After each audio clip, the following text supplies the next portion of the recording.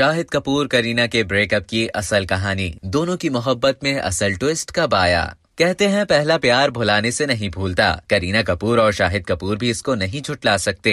दोनों को अलग हुए चौदह साल से ज़्यादा का वक्त हो गया, लेकिन जब भी शाहिद या करीना कपूर से ब्रेकअप का सवाल किया जाता है तो उनका जवाब अपने आप सुर्खियों में छा जाता है। शाहिद तो कई बार अपने टूटे दिल की कहानी सुना चुके, लेकिन जब करीना बोली तो कई पुरानी यादें ताज़ा हो गई तकरीबन चौदह साल पहले बॉलीवुड में एक नहीं, बल्कि दो दिल टूटे, लेकिन किसी को नहीं मालूम की ये दिल क्यूँ टूटे। दिल टूटने की आवाज़ दूर तक सुनाई दी, और जब जब भी ये दोनों दिल साथ नज़र आए, नज़रों की चोरियाँ आसानी से पकड़ में आ गई एक जमाने में शाहिद और करीना का शुमार इंडस्ट्री की सबसे खूबसूरत और मासूम जोड़ी में होता था। जिन दिनों शाहिद और करीना जब वी मैट की शूटिंग कर रहे थे, उन्हीं दिनों करीना ने सैफ अली खान के साथ टशन पर दस्तखत किए और यहीं से दोनों के प्यार में ट्विस्ट आ गया। इस जोड़ी के टूटने पर कई बार सवाल उठे और इशारों इशारों में जवाब भी दिए गए। फ़िल्म कबीर सिंह के प्रमोशन के दौरान जब शाहिद से करीना कपूर से ब्रेकअप के बारे में पूछा गया तो वो जज्बाती हो गए। शाहिद ने कहा, जब दिल टूटता है तो कुछ भी अच्छा नहीं लगता। ऐसा लगता है ब्लैक एंड व्हाइट फ़िल्म देख रहे हो आप। ज़िंदगी में कलर नहीं होता, लेकिन आपको उससे उभरना होता है, आगे बढ़ना होता है। शाहिद कपूर तो कई बार अपने टूटे दिल की कहानी को आवाज़ दे चुके, लेकिन करीना कपूर उसे छुपा लेती थी।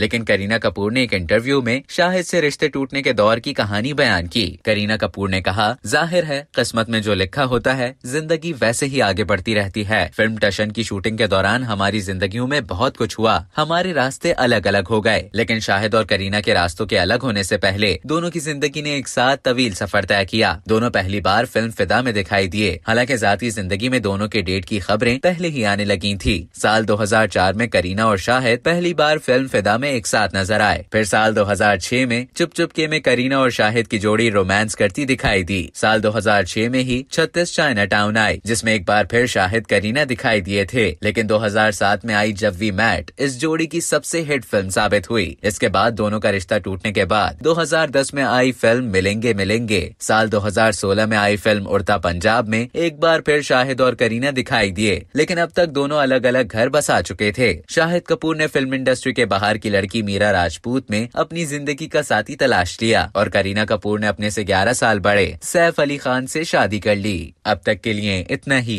मजीद इसी तरह की दिलचस्प मालूम हासिल करने के लिए डेली जंग के यूट्यूब चैनल को सब्सक्राइब करें और फेसबुक के पेज को लाइक करना ना भूलें।